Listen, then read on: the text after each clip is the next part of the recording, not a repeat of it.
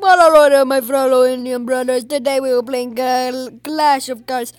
And uh, what, what, what I love about Clash of Clans is it's very cool because look at I have a tuk tuk.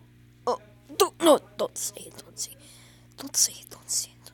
Don't say it. Don't say it. Anyways, we have a uh, we have Discord radio and we're going to play it. okay, you, this is one of my favorite games. So I don't want to say the name of the card because that is not it is is not is not good.